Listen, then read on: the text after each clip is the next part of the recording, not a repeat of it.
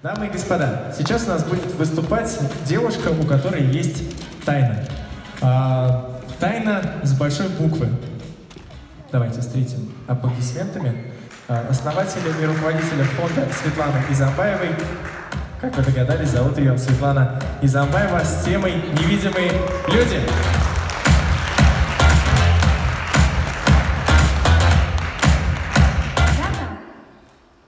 Я стояла возле доски и сжималась от страха точно так же, как я сейчас стою перед вами. Просто потому, что я не смогла ответить на свой урок. И так произошло, что учительница мне сказала, какой позор. И весь класс смеялся надо мной. Я сжалась, сжалась внутри. Мое ощущение внутреннее было такое, что я испытывала чувство страха, ужаса.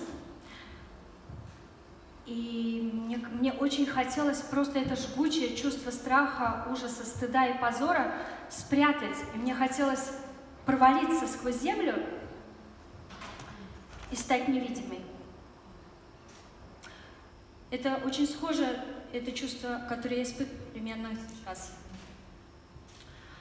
Позже мне приходилось в школу приходить э, синяком на лице, который я усиленно пыталась спрятать, потому что я очень сильно боялась, что если вдруг кто-то узнает, мне придется рассказать, что у меня пьющие родители.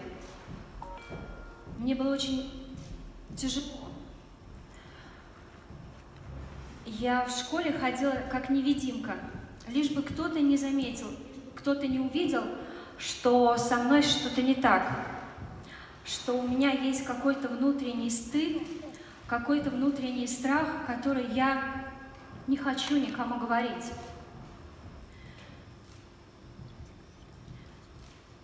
Я думаю, у каждого из вас есть похожая история. Вспомните, пожалуйста, свои истории и вспомните, какие мысли были у вас, какие чувства были в этот момент, какое ощущение было в теле, что вам хотелось сделать. Возможно, вы хотели сбежать, возможно, вам хотелось спрятаться, возможно, сжаться, а возможно, даже закричать на кого-то, сказать, да как же так, почему так со мной? Мне очень часто хотелось стать невидимой. Прошло время, я уже выросла, я поступила в университет, я стала работать очень рано. Я снимала себе жилье, у меня было очень много друзей, подруг, знакомых. Меня стали ценить и уважать, и я уже думала, что я справилась с этим чувством стыда, которое внутри меня. Мне казалось, что я могу контролировать свои эмоции. И тут, какой-то момент, мне было 22 года, я узнала, что у меня ВИЧ.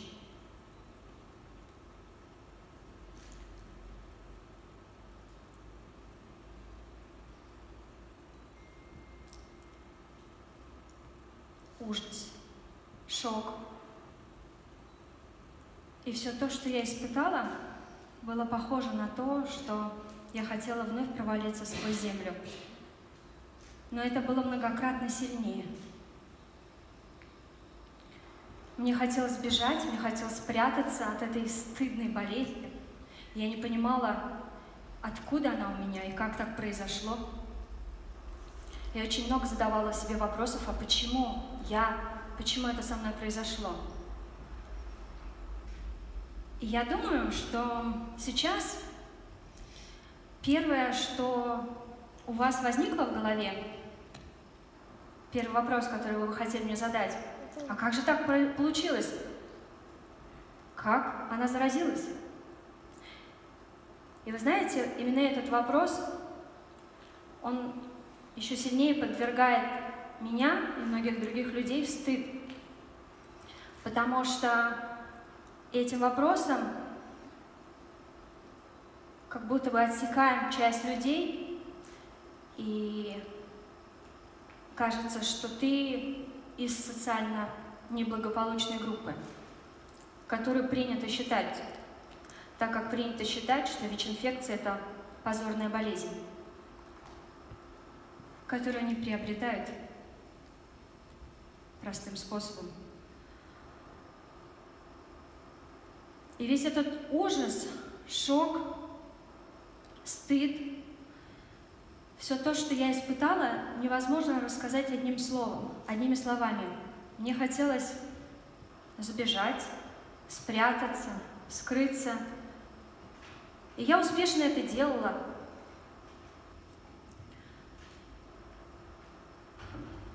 Вы знаете, для того, чтобы у человека появился стыд, ему нужны люди, ему нужно окружение. Но для того, чтобы справиться с чувством стыда, человеку тоже нужны люди.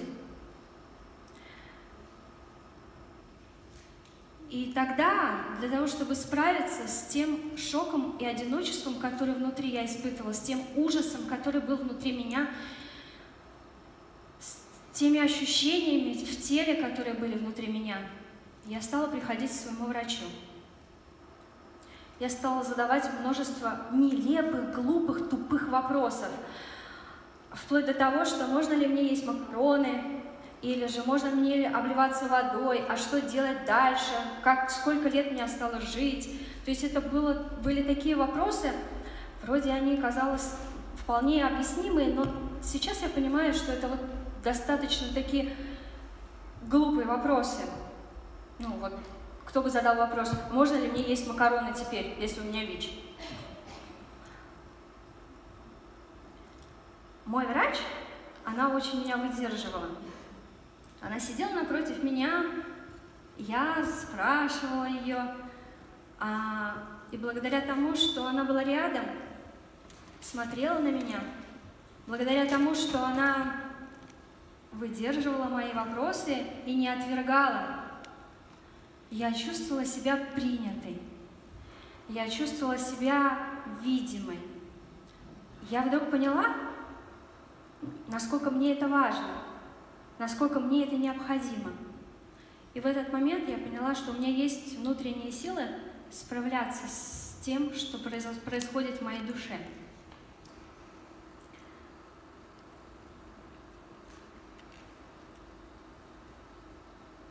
И я думаю, что вот эта поддержка, она позволила мне идти дальше. Она позволила мне не сломаться и начать помогать другим. Позже я стала работать социальным работником с ней вместе. Чуть позже я выучилась на психолога и стала помогать другим людям.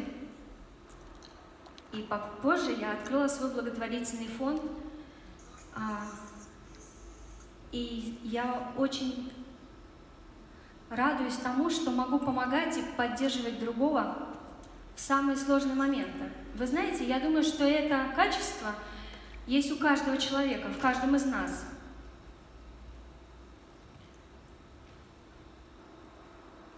Если вы сейчас вспомните тот момент, когда вам было очень сложно, подумайте, пожалуйста, о том, что было с вами? Кто вас поддержал в самые сложные минуты отчаяния? Кто был рядом с вами? Кто подал вам руку помощи? Кто улыбался в самый сложный момент? Возможно, это ваша мама, возможно, это ваш близкий, родной человек, с кем вы могли поделиться этой историей, своей минутой отчаяния.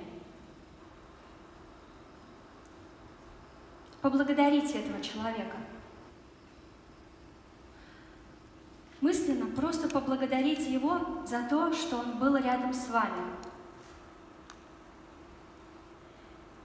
Я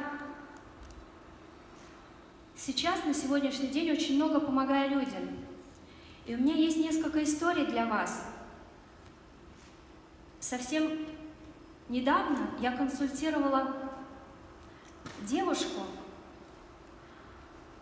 мы с ней познакомились совершенно случайно. Даже не случайно, ко мне прибежали две сестры а, на работу в спеццентре, я консультирую. Они прибежали ко мне, и В глазах у них было такое чувство отчаяния, боли, ужаса, страха. И мне были так понятны эти чувства. И в этот момент а, эти две сестры сказали, вы знаете, мы так боимся за нашу старшую сестру. Мы не знаем, как быть. Она уже 10 лет не приходила в больницу, она отвергает врачей, она не ходит никуда. И мы очень боимся за ее, за ее здоровье за ее жизнь. И так как она боялась врачей, а, мы договорились, что я приду как их подруга. Меня привезли сестры к ним домой, как подругу. И в этот момент, когда я пришла к ним, села на кухню, ну, как подруга, мы стали разговаривать. И стали разговаривать так тепло, хорошо. Это не сразу так тепло, конечно же, получилось. Нужен был какой-то контакт, познакомиться.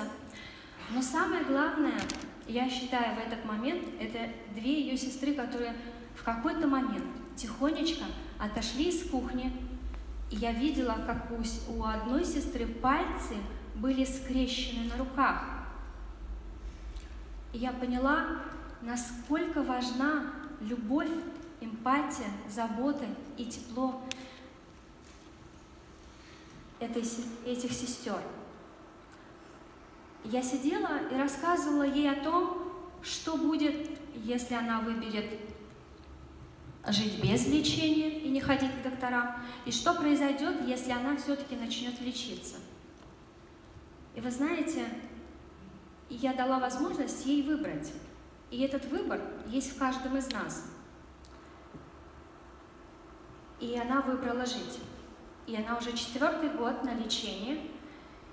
И все это благодаря тому, что ее сестры захотели, чтобы она была жива.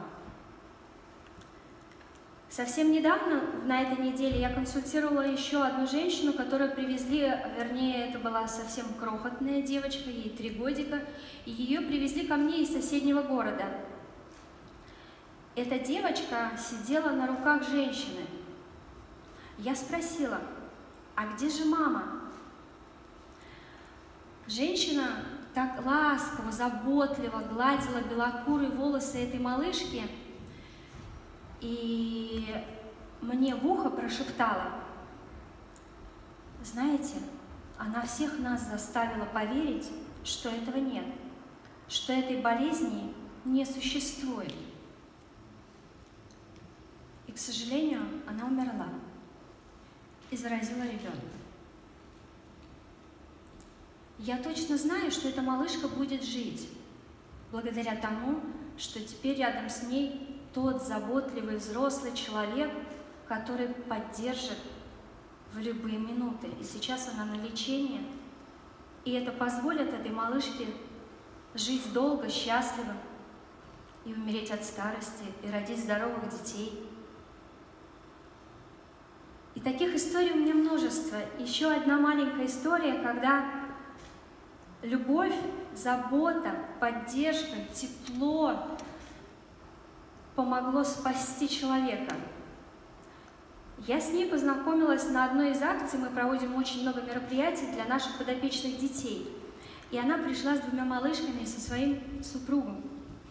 Но самое невероятное в том, что несколько лет назад эту женщину заносили на носилках в туберкулезный диспансер. Она не могла уже ходить, она не могла двигаться. У нее была очень тяжелая стадия СПИДа и туберкулез. Рука у нее свисала с носилки, голова тоже, и она лежала в таком состоянии. У нее, она мама, у нее двое детей, двух малышек, которые тоже были ВИЧ-инфицированы, которые тоже ВИЧ-инфицированы, и а, с туберкулезом отправили в другой туберкулезный диспансер детский. И в этот момент женщина, когда ее заносили вот в таком состоянии, а, рядом оказался человек, который выздоравливал и лечился тоже в этот то есть он как волонтер, как человек уже на выздоровление помогал заносить новых пациентов. И этот парень, он так нежно, заботливо взял ее руку и положил на носилки. и так заботливо положил ей голову на место, чтобы она лежала спокойно, свободно, что она открыла глаза. Ей очень сложно было говорить, и она увидела молодого человека и сказала, пожалуйста, бросьте меня. Пожалуйста, я не хочу жить с этим позором. Я не хочу никого не видеть и не слышать. Оставьте меня. Вы знаете, ее никто не оставил, слава Богу. Ей помогли, и этот молодой человек был все время рядом. Он помог ей адаптироваться в больнице. Она, ее родная сестра оформила, девочки раньше выздоровели от туберкулеза, и ее родная сестра взяла под опеку этих двух малышек, а каждый день она приходила с домашней теплой едой, такой домашней, э, с любовью приготовленной, и приносила этой женщине. Два года она отлежала в больнице, и когда она выходила из больницы, молодой человек вышел раньше, он выздоровел раньше. Ее на пороге больницы встретил мужчина, этот человек, который когда-то помог ей руку положить на носилки, с огромным букетом цветов и с коробочкой, где прямо на крыльце он сделал ей предложение. И сейчас эта семья полна любви, тепла, заботы, и вот это невероятное чувство, невероятное понимание того, что чудо произошло. Ведь никто из врачей не верил, что она выживет. И вы знаете, я точно знаю, что в каждом из нас есть эта невероятная сила любви, сила под... поддержки, эмпатии. Это то, что живет в каждом из нас, и этого не отнять. Я здесь как каждый раз, когда я озвучиваю эту историю, я понимаю, что эти истории невероятные, они, люди должны их знать. И важно, чтобы каждый из нас чувствовал это. Ведь прямо сейчас, когда вы вспоминаете свои истории, когда вам было сложно минуты отчаяния, тепла, вы Вспоминайте тех людей, которых, которые вас поддержали. Я здесь, потому что мне тоже страшно. Я здесь, потому что я хочу справиться со своим страхом, который внутри меня. Я здесь, потому что я хочу быть видимой вами, И я очень хочу, чтобы эта болезнь, боль, отчаяние, любая идентичность или роль, она стала видимой. Я здесь, потому что я очень хочу прекратить глупые инфицирования. На сегодняшний день миллион людей, более миллиона людей официально зарегистрированы и живут с ВИЧ-инфекцией а сколько еще людей, которые находятся со своей болью, неважно, это ВИЧ, онкология, любая болезнь, любая идентичность, роль. И я здесь, потому что я знаю, что в каждом из нас есть какая-то невероятная сила. Это даже не сила, это любовь для того, чтобы поддержать принять, увидеть, спасти и, возможно, исцелить человека. И это то невероятное, что есть в каждом из нас. Спасибо за внимание.